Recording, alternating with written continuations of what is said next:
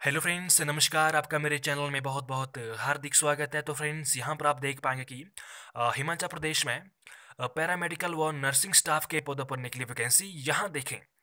तो फ्रेंड्स, हिमाचल प्रदेश में जो है पैरामेडिकल व नर्सिंग स्टाफ के पदों पर कर्मचारी राज्य बीमा निगम, अर्थात ईएसआईसी ने वैकेंसी निकाली है।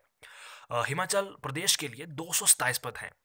इस भर्ती में जो है प्रदेश के ईएसआईसी मेडिकल कॉलेजों, अस्पतालों और औषधालय में जो है पैरामेडिकल और नर्सिंग स्टाफ के पदों पर नियुक्ति के लिए ऑनलाइन आवेदन जो है आमंत्रित किए हैं।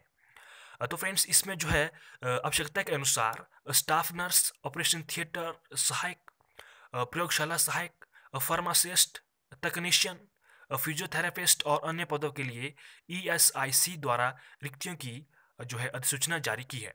ठीक है? तो फ्रेंड्स इन पदों पर जो है काम करने के लिए इच्छुक उम्मीदवार 21 जनवरी 2019 तक ऑनलाइन आवेदन कर सकते हैं। इन पदों पर आवेदन करने के लिए इच्छुक उम्मीदवार ई एस सी आई की मुख्य वेबसाइट जो यह रहेगी E S I C dot N I C dot in के ज़रिए भी आप ऑनलाइन आवेदन जमा कर सकते हैं। तो फ्रेंड्स शैक्षणिक योग्यता रहेगी। विभिन्न पदों के लिए जो है शैक्षणिक योग्यता अलग अलग जो है रखी गई है।